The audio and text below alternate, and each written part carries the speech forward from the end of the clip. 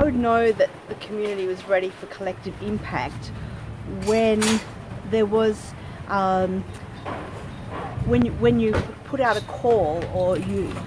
you had something that people could come towards that they actually stepped towards it. That there was a sense of um, we can change something we can actually do something about this we're not disempowered um, we're feeling um, that there's enough support around this that it actually has a chance of working